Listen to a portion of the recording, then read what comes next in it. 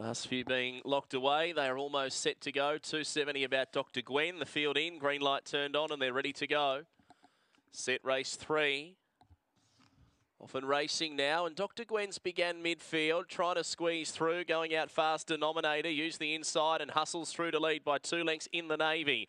Then Major Mike, followed by Real McCoy. Uh, well back now to Dr. Gwen Burdine and check to last in the Navy, but Denominator is off and gone here. Five in front to Major Mike, and Denominator smashed them. Denominator won it by four, beating Major Mike, Real McCoy, then Burdine, followed by Old Stables, Dr. Gwen, and there was no luck for the vital stage for In the Navy.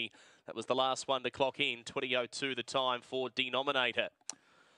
Number one won the red, just sailing through against the inside rail. Win number 11 at start number 51 for Elise Not at Carnegie. Elise will be hoping for a big sporting week. She kicks it off on the right side of the ledger here with Denominator going through to lead and win. Interim numbers 1, 7, 5 and 4. Second to 7, Major Mike, son of Tommy, Tommy Shelby and My Lucky Mia.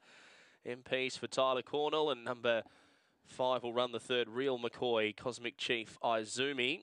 Mark Campbell at Longwarry. So it's 1, 7, 5 and 4 the numbers, 1, 7, 5 and 4.